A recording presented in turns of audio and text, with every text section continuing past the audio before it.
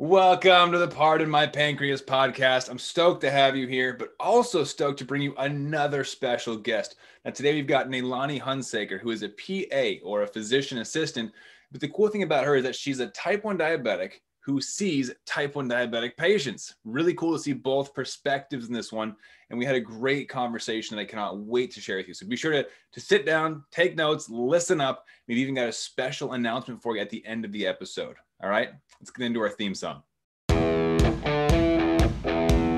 I've spent the last 10 years pushing the limits while identifying trends and patterns in my type 1 diabetes management. Follow along as I learn, apply, and share the fitness, nutrition, and lifestyle strategies that I've learned from diabetes experts around the world.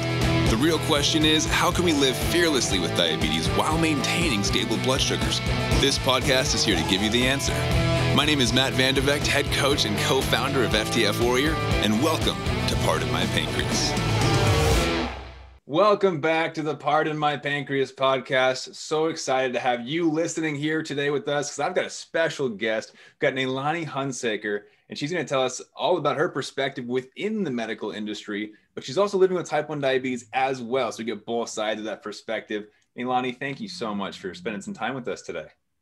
Thanks, Matt, for having me. I'm really excited to be here. Absolutely. And uh, before we jump into you know your life with diabetes, I'd like our audience to kind of know what it is that you do. What's your title? What's your your job overall within uh, the medical field? Okay. Um, I'm a physician assistant specializing in advanced diabetes management. I recently took a new position at Apex Healthcare in the Inland Empire, where I'm the associate director of the diabetes program.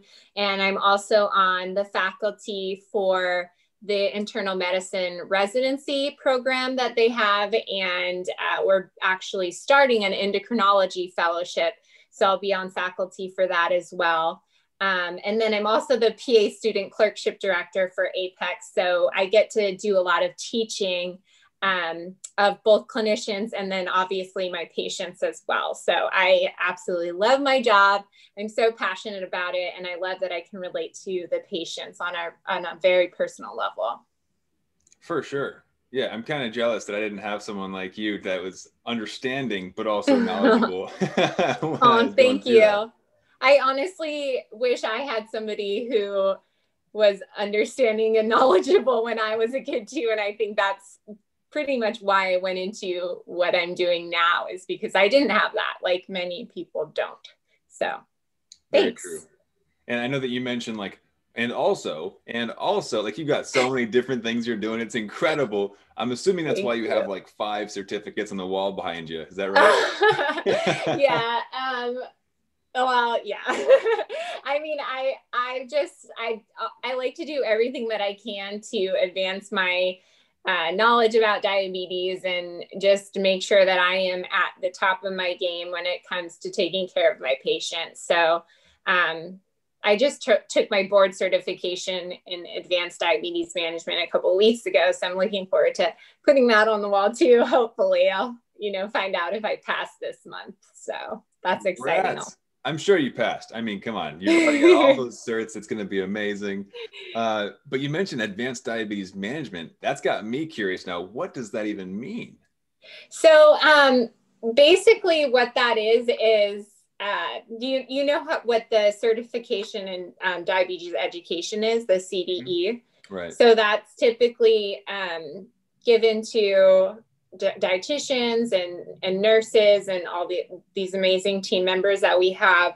Um, someone who's board certified in advanced diabetes management is um, similar, but at the level of having prescribing um, capabilities. So, someone who is a, a, doctor, a nurse practitioner, a physician assistant, maybe a pharmacist. Um, so, someone who can prescribe who goes through and takes the board exam for diabetes. And it, it's 175 questions. Um, it was four hours long, oh. way too long.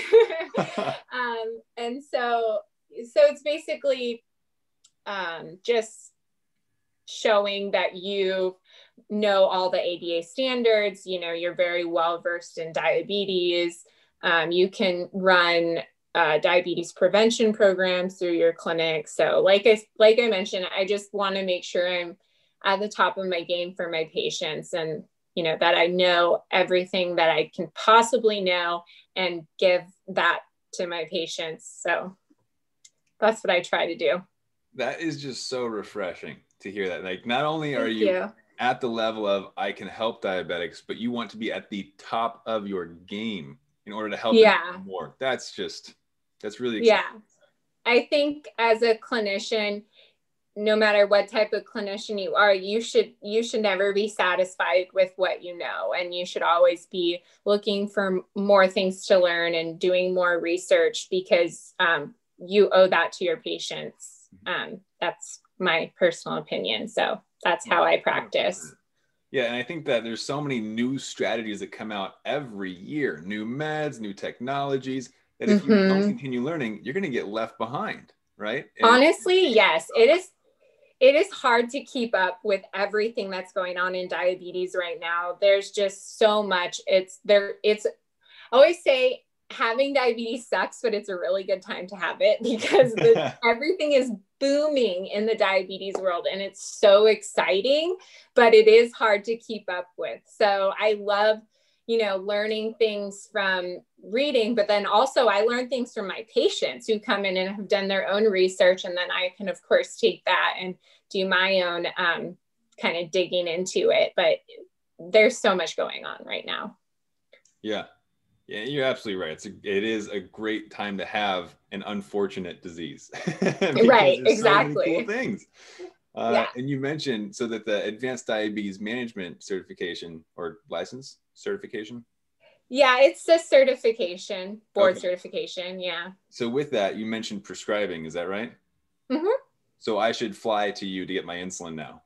That we're gonna well, you could. I would be happy to see you, but we can also do. I also do telemedicine. So I actually. Oh, there you go. Yeah. So I've been able to see um, a lot of my patients that I had at my old practice who live in San Diego. I can still see them even though I'm in Menifee, which is a, a long drive, but you found the loophole. That's so perfect. I, I did. Yes, I did. So telemedicine is awesome. And diabetes lends itself so well to telemedicine um, because a lot of it is just looking at patterns and analyzing data. So as long as you can get that data, you can you can really see anybody with diabetes anywhere if they would let us. There's, you know, certain requirements, but anyone in California I can see. There you go. Yeah. Yeah. And you mentioned it's it's all boils down to that data pattern analysis. Uh, mm-hmm. From a provider's perspective, is that the one one side of this question is is that the number one thing that you look for, and the other side of the question is is that the hardest thing to get your patients to do? Analyze their own patterns yeah I, I, I guess that question also shifts now that we have cgms that just match it up for you because before mm-hmm. it was write it down or bring your meter right mm-hmm. and to get people to write stuff down i can only imagine is difficult as a provider mm-hmm. but yeah mm-hmm. i guess now uh, since it just automatically uploads all i gotta do is plug it in uh, yeah. is it more so that this is just going over data with them on these telehealth appointments well, most of the time, I, I, I don't know if I'm the same uh, how everybody else is with this, but for me, I like my patients to be really involved in their own care. So I don't like to just tell them what I see. I like them to tell me what they see and then, or what they've noticed. And then I'll, you know, address that obviously, because if it's something they're telling me, even if I don't see it, it's obviously something that's bothering them. So we need to talk about it. But it's it's a collaborative effort you know i always tell my patients this is your diabetes i have my own diabetes to deal with okay i can't i can't take on your diabetes too so um, I, re- I usually ask them what my first question will be something along the lines of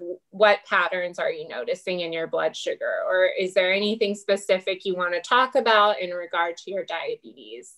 Um, and and that's that's where we start and then i'll tell them sort of what i see after they've shared with me what they know. And so sometimes it takes a little bit of, um, of time to get them to shift the way that they think about their diabetes. Um, but after a couple of appointments, typically patients will just volunteer that information because they know I'm going to ask it. And because they know I'm going to ask it, they tend to think about it more between the appointments. Gotcha. Yeah, I mean, I feel like we need a megaphone on top of the mountain. Be like, every endocrinologist in PA should do this because you yeah. asking them, what do you see, not only involves them more, but like you said, it gets them thinking differently. Mm-hmm. Like, oh, I need to be aware of, huh, I go high every morning, but just in the mm-hmm. morning, right? That, that's interesting. Yeah. Good data. And why? So that's the other thing I asked them. So, why do you think this happens? Like just today, I had a patient who was telling me he always goes high in the morning and he doesn't eat anything and he doesn't know why he goes high in the morning. So I said, okay, we had to go through, you know, his routine and we figured out that he's maybe not eating anything, but he's drinking coffee in the mornings. And a lot of people have problems with hyperglycemia after coffee if they don't cover it. So just, you know, getting someone to think through things is is one of it's one of my top priorities when I have the patients in the office with me or via telehealth because um, I want them to be empowered and know that they can manage their own diabetes. They don't need me. I'm just a tool to help help them, but it's really their diabetes and they're the ones managing it. Absolutely. And I think that sets them up for more success in between appointments as well because now they can think ahead and go, that's a pattern I'm noticing that, okay, why did that happen though? And they can try to make adjustments. Do you encourage adjustments actually uh, with their insulin or more so just habitual? No, I encourage them to make adjustments um, mm. with their insulin as well. Depend kind of depending on what their comfort level is, but I always teach them to do their adjustments and why I'm doing them the way that I'm doing them. Like I'll tell them why we're starting the basal rate at this time versus maybe right before the pattern happens. So we talk through that so that they know in the future if they need to make a change, they're they're going to make the correct change. Um, but I also tell them, you know, don't change it by too much at a time, maybe 10%, uh, you know, increase or decrease so that they don't do anything drastic. Right. Um, and of course, I tell them if you have any questions about any changes you're making, please just call me. Don't hesitate to call the office and we can go through it together because um, I want to make sure they're comfortable. But we always do it together. It's never, one of those things where I grab their pump and change it for them and give it back to them because I think it's really important that they know how to do their own stuff. And thank goodness I've done that since the beginning because with telemedicine, I can't imagine having to explain to every patient how to change their settings on their pump. Yeah. Like, yeah, they already know how to do it. So I'll just say, go into your basal profile and, you know, so so yeah, that's an amazing transition that you. I sounds like you got lucky with, but also you were just a good provider in the first place. Thank you. uh, because yeah, I've heard these horror stories of doctors hiding the screens, like looking at it, changing it, and handing it back, and the, the patient has no idea what just happened. Yeah. What did you change? Why did you change it? I don't know. That should work. Good luck. You know, it's like, oh man. So you're doing it right. That's super exciting. Uh, but you mentioned, you know, diabetes advanced or advanced diabetes management cert allows you to kind of work through prescriptions.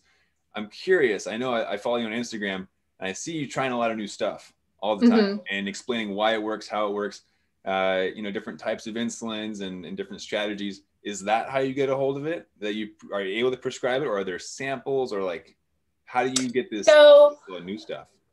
The um the the advanced diabetes management certification is only available to people who already have prescribing authority. So it doesn't oh. give you the prescribing authority. You have to already have it in order to sit for the exam. Gotcha. So I I am a, I do have full prescriptive authority. Um, so I can I can write for insulin, right? You know, for whatever uh, my patients need. Um, and b- besides uh, some of the controlled substances uh, but otherwise i have full prescriptive authority. So um, a lot of the time i just i want to try things before my patients try them because most often that's how i learn the best.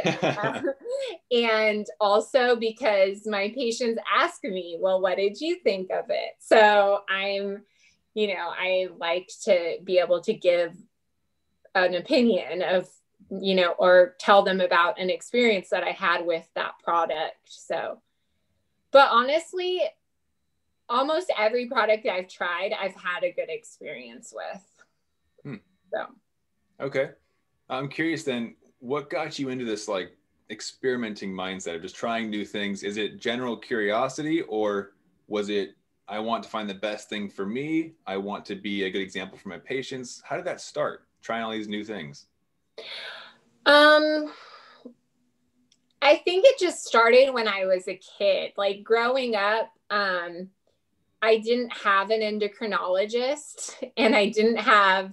So I grew up in Hawaii, and um, they didn't have an endocrinologist on the island I grew up on and then they didn't have a pediatric endocrinologist in the state. Mm-hmm. So I pretty much did most things with my parents. Um, we did a lot of like trial and error on most things. And so that's sort of where my mindset came from. And I think the idea of trying things before someone I care about tries them also came from my parents because um, when I was a kid, my my dad and my mom would both try things before I did. Um, that neither of them have diabetes, but for instance, before I got on an insulin pump, both of them wore the pump with saline for an entire week just to make sure that it would be something that would fit into my lifestyle. Wow. So I mean, obviously, my patients aren't like the same as my kid, but I do care about them quite a lot and they have a very special place in my heart. So maybe it's sort of like a, a protective thing where I'm like, I need to try it first and make sure it's safe and make sure that I can appropriately coach people on how to work through whatever they're going to go through on this new technology or medication. So, yeah. I mean, I only try things within reason and I always do it safely. Um, but it is important to me that I can um, that I can try things before I prescribe them. And thankfully, I can do that because I have diabetes. Um, I don't know how anybody can take care of people with diabetes who, if they don't have diabetes themselves, it must be right. really challenging. Like, I think I have it much easier than everybody else. For sure, because you have that firsthand experience of, oh yeah, yeah, I get that the roller coaster highs and lows, and oh, it knocked you out because you're just wiped out from the lows all night. Yeah, that I've done that, and you're like, oh, yeah, exactly. I'm like, I feel that. I know exactly what that's like. You mentioned uh, your parents tried everything out first. I hope they didn't try insulin first. No, no, okay, just saline, just the saline. But we did used to call my dad um, the pin cushion because when oh. I was oh. first learning how to give injections and stuff, I, he would let me like practice on him using oh saline. Goodness. So I was so scared of the needles, and he was like, he was just amazing. So I practiced on him, and then I was comfortable enough to do it on myself. So, wow, that's incredible. A parent's yeah. love. I love it. Thank goodness for great parents. Yeah, for sure. So in the uh, the experimental phases that you've gone through, it sounds like since childhood, uh, were there any that stuck out to you that were either shocking or big aha moments? I mean, my only my first thought is maybe something like a, an ultra fast acting insulin going, oh wow, that's way faster than I mm-hmm. thought it was mm-hmm. going to be. but are there any moments like that that stuck out to you through those experimentation journeys? Um, I can actually think of kind of a lot. Like what the first thing I think of is when I was 10 and I was starting on an insulin pump because that changed my whole world as far as how flexible my life could be. Mm. Um, because it was very regimented before regimented before that as far as like you needed to eat at this time and then you know have a snack and this is how much i was allowed to eat. And then you know just based on matching carbohydrates to insulin. Um, so having the ability to just press a few buttons and have more of a snack or like eat more than i had originally planned was kind of a big aha moment. Hmm. um, and then the next aha moment didn't come until I was um, a PA student and I did my um, it, one of my rotations at my uh, original, my first practice in San Diego, um, where I first got introduced to CGM. Mm. And CGM is honestly the best thing to ever happen to diabetes, if you ask me. Um, it was like oh, this whole world opened up. Um, I can't believe I ever functioned without CGM, to be honest. um, and even now, like when I have to go through my like two hour warm up period, mm. I just, oh, I hate it so much. um, so then there was that. And then when I started on my current therapy, my MiniMed 670G system, having the hybrid closed loop system, it like made me realize how much anxiety I actually had around diabetes because all of a sudden I felt like this whole weight was lifted off my shoulders because I didn't have to constantly think about my diabetes every 10 minutes. Like I did not realize how often my brain went to what's your blood sugar? What's your blood sugar? How much insulin do you have? Are you going to go low? And it was especially amazing. Like one day I was in my practice and I was like seeing patients and I went over into my lunch hour and like I didn't even realize it where normally I would have gone low probably by fasting for that long. I didn't. And it was mm. like, oh my gosh, this is the most amazing therapy ever. so that was like one of my biggest ones of my adult life was when I realized that I didn't have to have this super OCD um, type of relationship with diabetes, um, that I could let technology help me with that and then i could save my brain power for something else. Yeah super super cool. And i think again that's based on the cgm helping out right cgm telling your pump what to do i totally agree cgm changed the entire game of diabetes mm-hmm. initially total game changer in like a, a, negative way in my head because i was like oh it's that bad yeah saw totally. the big spikes after meals and was like oh, I thought I had it better controlled than that. you know what's so funny is that happens all the time with my patients. Like mm. when I put them on CGM, they think I did something to them. They're like, they're telling, they're calling me saying, this thing is making my blood sugars high. Uh, and I have to tell them, no, you had these high blood sugars this mm. whole time, but now you're just seeing them. And and then it's all of a sudden you know it it's good because it's a good motivational tool it makes them realize like oh i really do need to kick it into gear because a lot of the time patients will wake up with like pretty good fasting blood sugars especially if they have type 2 diabetes. Maybe they'll have you know good fasting blood sugars and then they'll eat and all of a sudden they go up to like the two or three hundreds and they hmm. never knew it because they were only testing their fasting blood sugars. True. So now they know, and then I can convince them to make changes. You're like, see this graph that keeps showing a pattern? That's yeah, that's needs to change. yeah, exactly, exactly. Oh so. man. Okay, so over the years, then you know, level of experimenting has brought new therapy options to you, to your awareness. uh, with the pump and then the CGM and then the hybrid closed loop.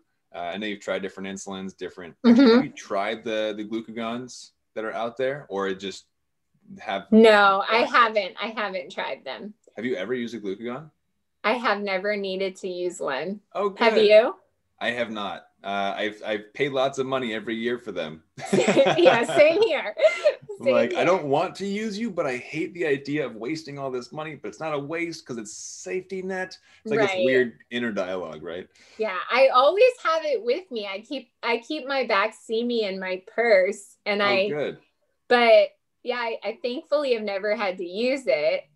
Um, yeah, one good tip that I always have to tell my patients is it's not enough just to have it. You have to tell someone where it is So because the whole point of glucagon and Baqsimi is to help you when you can't help yourself. But if nobody knows where things are, then you know they can't do anything about it. So I tell everyone where my my glucagon pen and my Baqsimi are located. That's a great idea. And when you say everyone, are you telling strangers in the street, like, hey, just in case? Right. yeah, hey there. No, um, like all my my coworkers, um, you know, my MA knows where it is. My husband, people I spend the most time with. Yeah, wonderful idea. Because you're absolutely right. The whole point is this is when you're bordering on unconscious. Someone might need to do it when you're not able to. Mhm. So if they don't know how to use it, there's no point in having it. Exactly. Exactly. Okay. Uh, love that tip, by the way.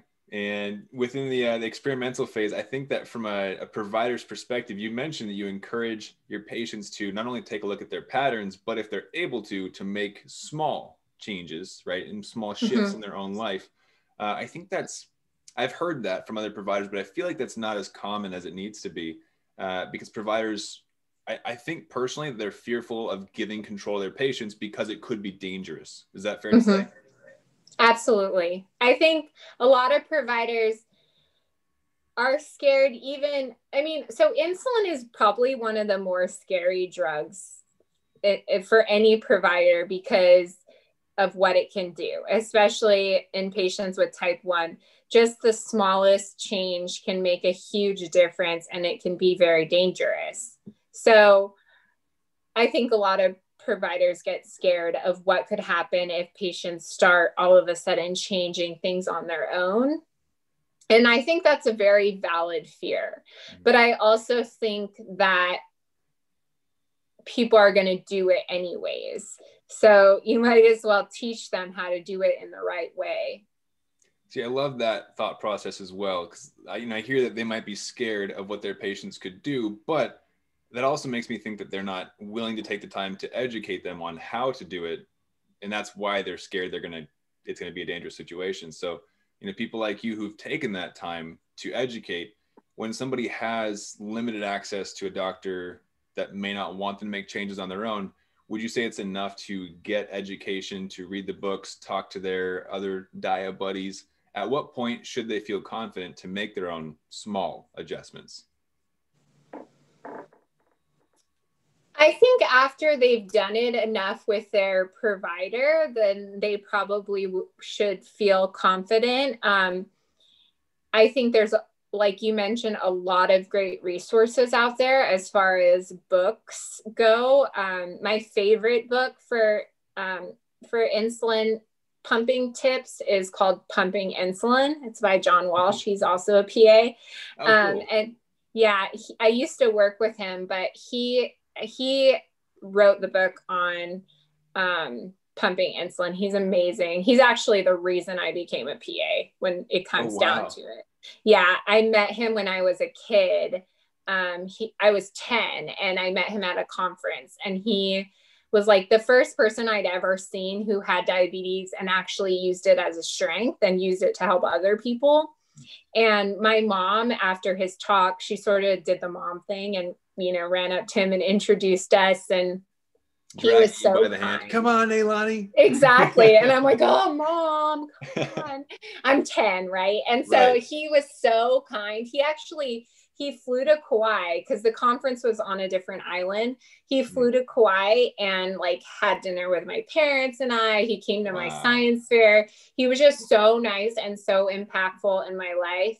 um, just in the way that that it made me realize that I could actually have a successful career and I could help other people. And so I kind of decided at that moment that I wanted to be a PA. Like, even though I really, I don't even know that I knew exactly what that was, but that's what I wanted to do.